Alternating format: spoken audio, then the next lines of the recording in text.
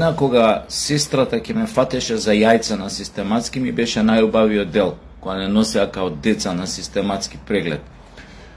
И пошто до 10 години пред да се оцелам аеродром, тука живеев, нели, у Тафталиджа, и нели не, не, не носеа на систематски кај ова школа во Христијан Тодоровски Карпуш, тоа диспанзерот.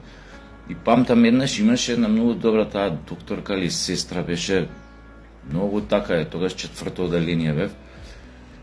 И така сите мушкиве погаки бели оние знаете соблечени чекаме да ни ги провери прво овој да не фатат за јајца да ни проверат јајцата дали ни се на место овој лоцирани.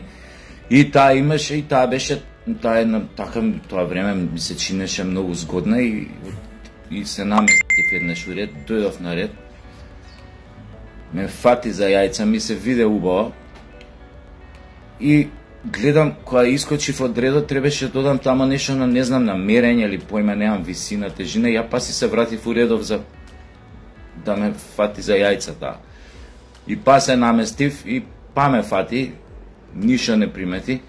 Е више три, третиот пут кога се кога, кога се наместив и кога дојдов да ме опипа за јајца и тогаш ми рече, абе вика ти беше вика еднаш така. Ја гледам вака и после пауза од 4-5 секунди, не знам колку беше реков, не ја бев два пати, ова ми е трет пат и вака ме загледаш женавам се, тоа беше млада девојка у тоа време него за мене. Вака ме загледа ме рече, ај мрш тама намерење. Што секам да кажам со оваа поучна приказна на почетокот за времето, она прекрасни времења која бевме деци и која на систематски ќе се потрефеше некоја убава сестра или докторка да ни ги опипа јајцата. А, ја почнав приказната само за да се вратам пак на оваа сега актуелната, мислам.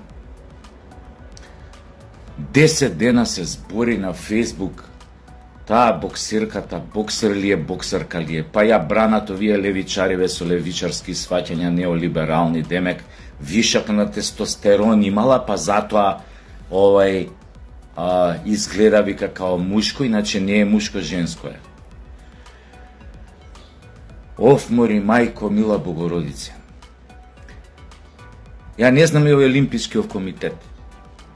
Абе, толку е, па сега дебати за тоа, дали има вишок на тестостерон или нешто со хромозомиве има некоја чудна комбинација. Или ове, абе, многу е просто, кога е нас, кога бевме мали на систематски, ја носиш тамо, ја соблакаш за овај, тој што ја соблечеш, не мора ни да ја опипаш, за јајцата, одма се гледа што е, дали е мушко, дали е женско. Ја стварно не разбирам овие дебати на Фейсбук, до толку ли светов полудебе, до толку ли прифаќаме да бидеме лажени, манипулирани, мамени, да биде, да, од нас да прават будали, ретардирани, ненормални. Сега да се докажувам на Фейсбук со разни говеда платенички пропагандни од тие ЛГБТ организации невладини од тие секти кои што се платени овде со тешки пари за да шират ЛГБТ пропаганда за вака да да ти се пика дома преку разни кампањи, дали во школство, дали на телевизија, дали ова, дали она, дали геј паради, дали така. Се со нив да се докажувам што е нормално, што не е нормално. До, еко ќе те доведат до тој степен, да влезеш во дебата со нив, за нешто што не е нормално, ти да дебатираш дали е нормално или не е нормално, ти више си ја загубил борбата.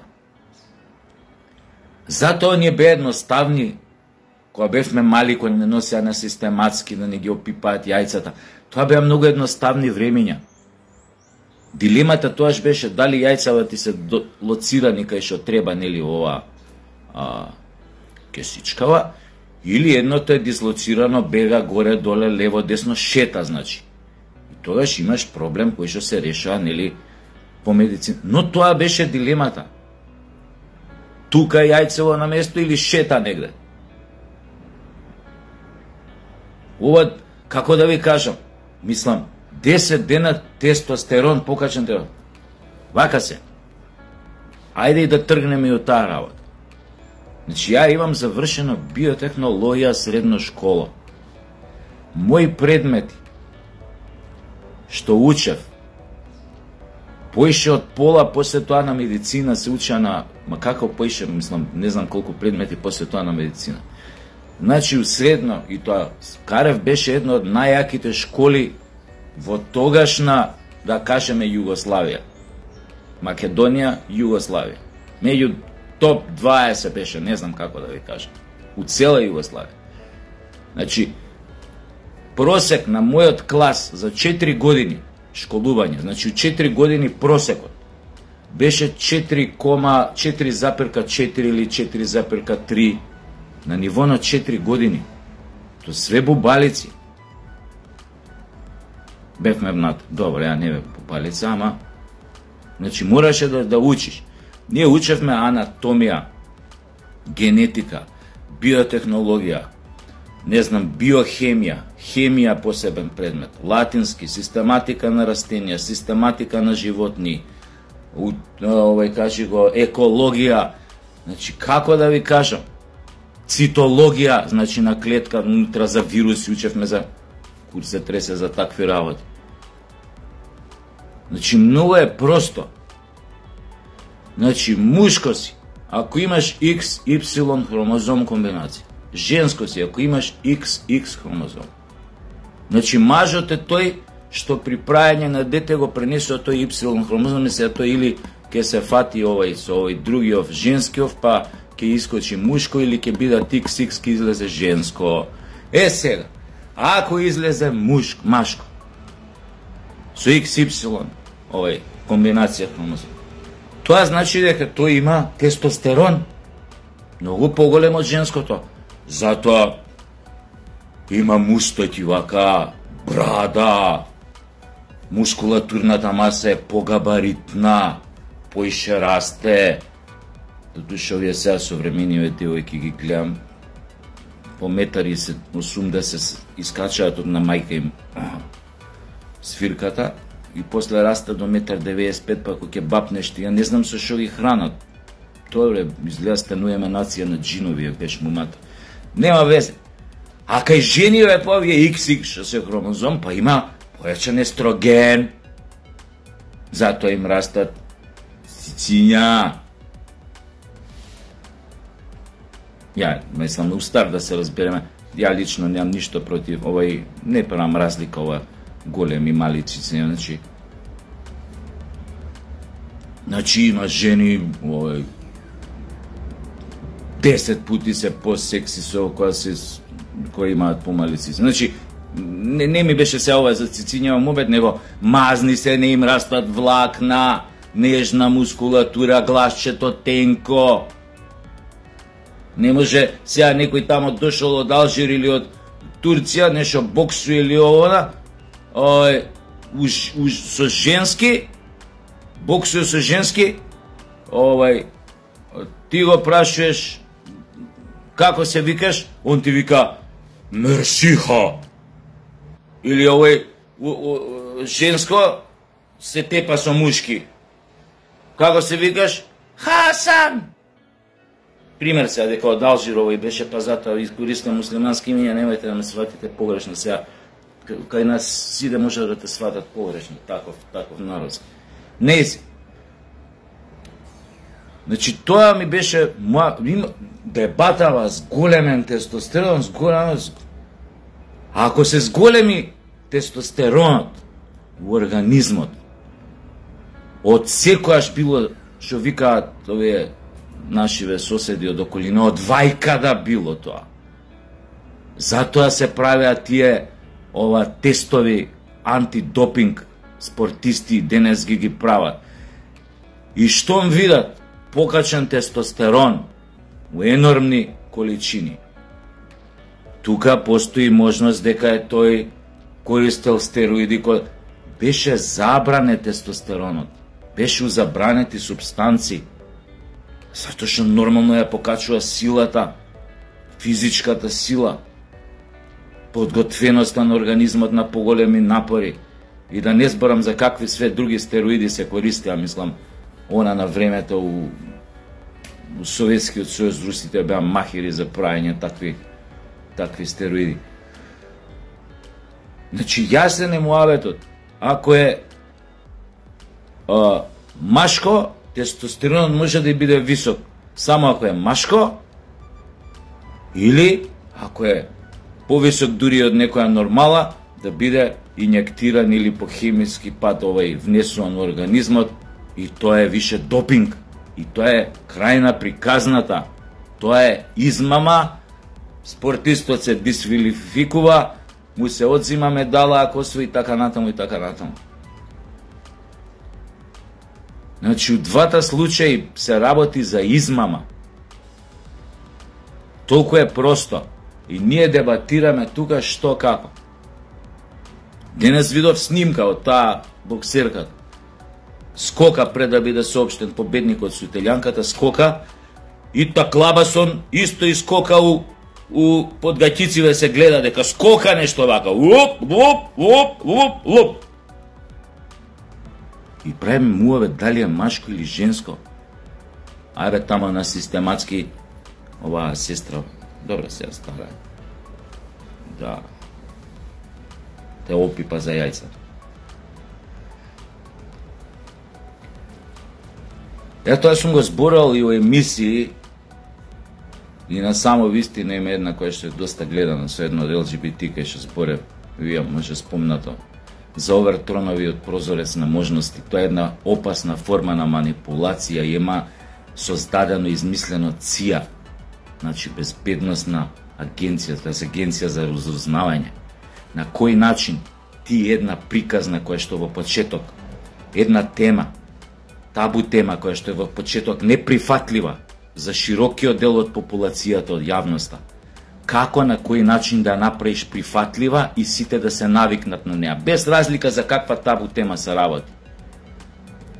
И тоа затоа се вика овертронов, оно овертронов прозорец на можности. Со секоја фаза има пет фази, таа рамка у која што се наоѓа прозорец се проширува.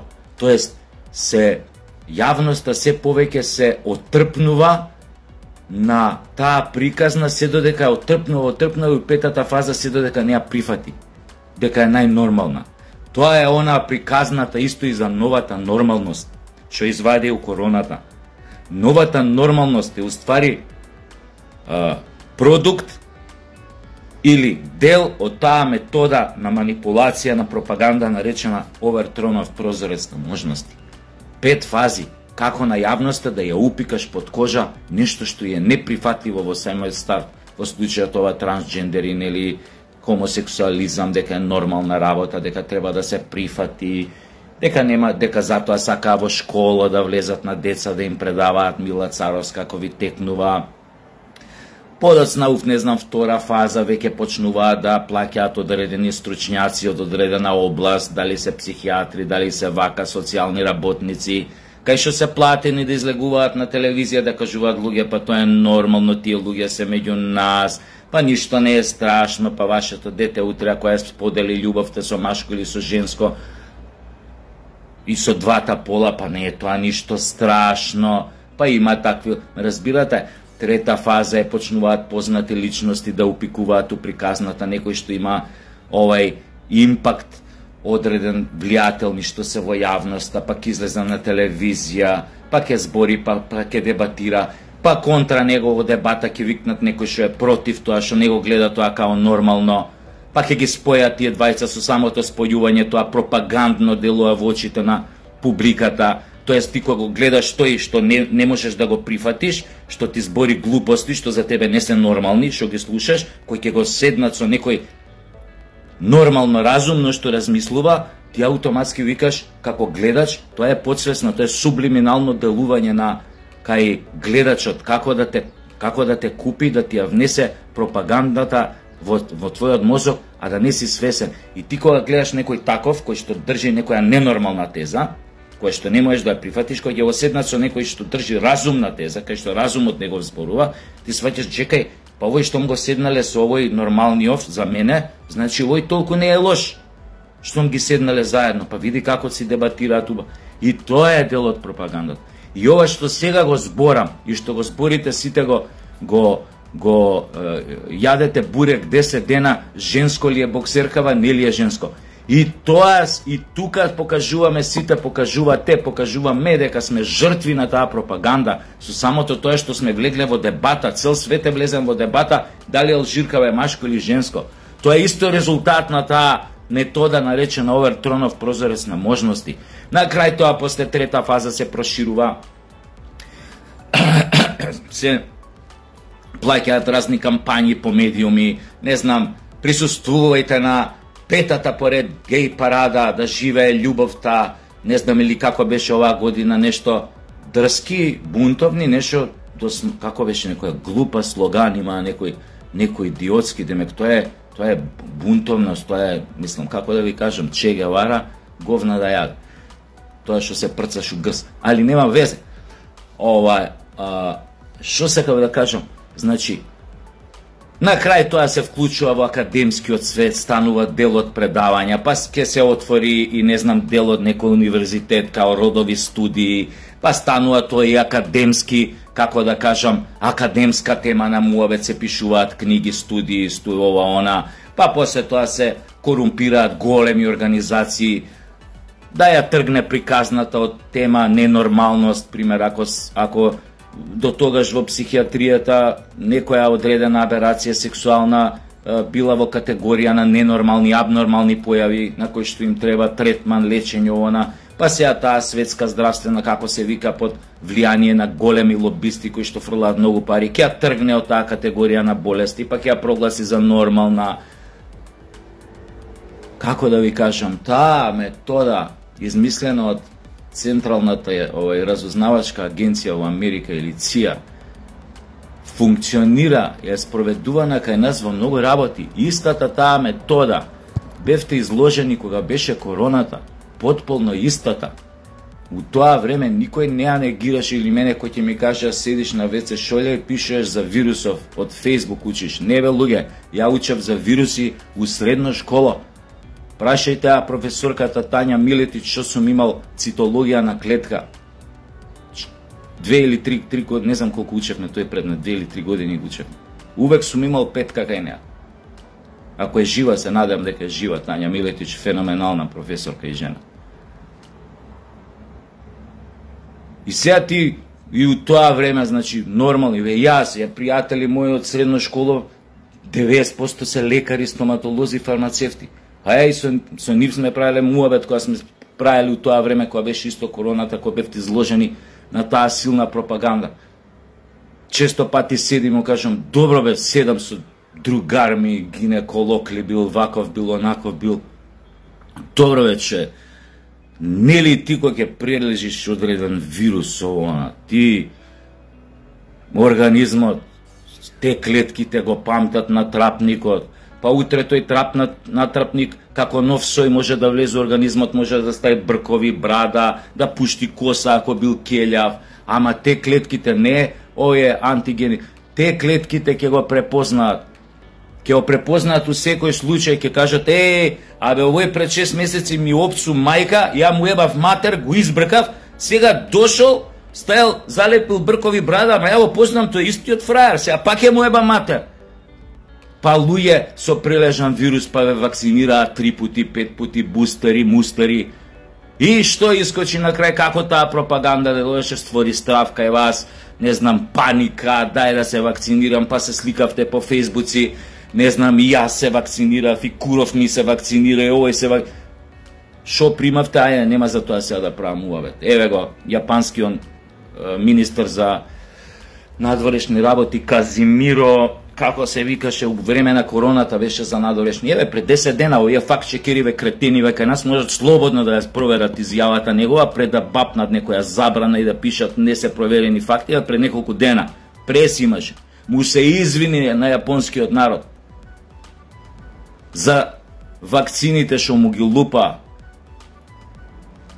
дека беа излажани дека тој не беа вакцини Еве ги, почна на видола да излегува вистината, како што и за оваа работа за трансгендерство во еден ден ќе изведе за вистината на крај. Само што до тогаш многу курбан млади луѓе и вие као родители ќе поверувате на а, питата гомнарка што ја сервираат нели а, овие И многу деца ќе отидат у аут психички, затоа што се знаеше порано. кој ќе овој се искочиш од на мајка ти пичката, одма се гледа дали си машко или си женско. Тоа се вика пол, биологија, ви кажав XY, XY хромозоми. Го знаете тоа сите, од општо, овој, од општо знаење. Сега човече време ќе дое по желба, кој како се роди, ако има ваква, ако сака женско, само ќе му го исече на старт. Ова, овај таклабасов, фуре го, продај го као женско, нема врска, ќе го продаеме као женско, ќе го блечеме, не знам како е ова. Род, родот, родот, а, а, а родот бил лизгава категорија. Чи, лизгава. Тоа го правевме муабет. Значи денес до вечер се осеќам машко, са бајле се будам се осеќам женско. Или се осеќам као као хрчак. Или као врапче. И сега дома моите, ако ја кажам денес сум врапче и почнам да колвам храна за папагали дома, и моите треба тоа да го гледаат и да кажат па окей, да онака баш тоа да рече окей, нормално се осеќа како врапче почна да јаде храна за папагали. Но ние не гледаме тоа ништо чудно. Е, до тој степен ќе ги доведат родителите овие пропаганди. Све што е секоја абнормалност дома кај своите деца, они ќе почнат и самите деца ќе почнат да ја доживуваат као најнормалност. Или она нова нормалност што почна да ја продаваат во короната. Порано, за такви работи, значи родители реагираа, ги носеа децата на психијатар и за многу помали работи реагираа, а да не зборам. У Едвард Кардели кој учев у, у, у аеродром, овај кој се пресели во аеродром 83 година, тогаш се отвори школото 2100 ученици бевме, најмногу ученици у цела Југославија имаше у Карве. Беше пренатрпано, ама ново голема школа. Три смени сме оделе. И сега, у толку голема школа, пример, наша генерација, не знам колку класови бевме тоа, преку 250 деца бевме. У, пример, пето оделение, да кажеме, 250 деца. Тие 250, двајца дали беа така малце нежнички женскасти За едниот од нив, знам пошо беше јеби га ова, не е битно. А, да не кажам. Значи, заради тоа што беше, он си се осеќаше као мушко. Он беше машко, он немаше проблем со тоа. Само беше таков же. Па за тоа неговите го носеа на овој на у тоа време на психи, тоа не се знаеше нормално. Ние дознавме затоа што бевме на некој начин поблиски со нив и така. Па татко му плачеше, се жалеше, не му беше седно. Не го гледаше тоа како нормално. Зошто син му да е таков пример? Не дека не го сакал, окей, дечкото после порасна и стана и хомосексуалец и све, сега кој ги да сетне, значи никогаш не се доведе себе у ситуација да се каже дали е дали да се способнева дали е машко и сега да го сретнеш на улица, но абе да не спомена. И сега машко или женско се И ти речем, ти дал си нормален да машко се осеќам. Добро си стана овој хомосексуал, јеби га, тоа се гледаше од мали нозе, ама како да ти кажам? Не знам, бе, заплиснав со овој, овој струја на мисли со ова со она, али е тоа толку забележително, толку приметливо, толку нападно. Вие 10 дена зборите за факинг алжирска на боксер или боксерка кој куре појма неам да ти. А многу е просто систематски преглед напри, не мора ни крв да изимаш ни ова ни хим, прегледи некои лабораториски ни вамо ни тамо.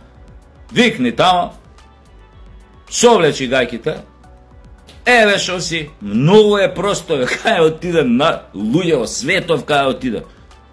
Ако толку не му веруваш на погледот, нели вика, никогаш ни на очите со не вери, верувај, кој ќе совлече гаките, тој алжирачот или ти шо курлија, Пап за јајца фати го, опипај ги добро. таман ќе провериш тука ли се, нели се тука. Може шетаат и кај него, Тој кај неа. Гледаш кој е лудило е, него, неа, тој, та.